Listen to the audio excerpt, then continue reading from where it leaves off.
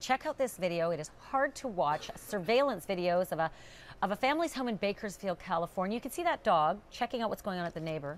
Uh, he sees a, a kid on a bike, and for a few seconds, he heads around that car, decides to come upon that boy and attack the child, drag the child. Ah, look at that. The cat, the family's cat named Tara, comes to the rescue, chases the dog off, darting onto the screen, knocking that dog. Oh away, saving that little boy. Yes, I said cat. It's unbelievable. I'm, I'm glad to report that boy is okay, but he did have a couple of stitches.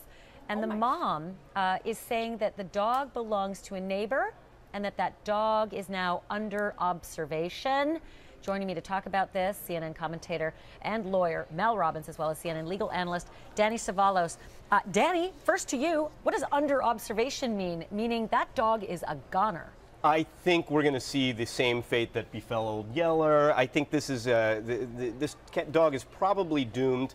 Uh, the cat, I suppose, is a hero, although at the same time, who knows? I often think the cats just wish they were as big as us to eat us. But well, Mel and I disagree he's a, on he's that. He's a cat hater. Yeah, look, I don't know. When I look at that unprovoked attack on a child, when I look at that, it reminded me of the of the exposure legally that a, a yes. California dog owner had, charged with manslaughter after the death because of that dog owner's mauling of a neighbor. I mean, could this dog owner be charged with any kind of assault? Should be.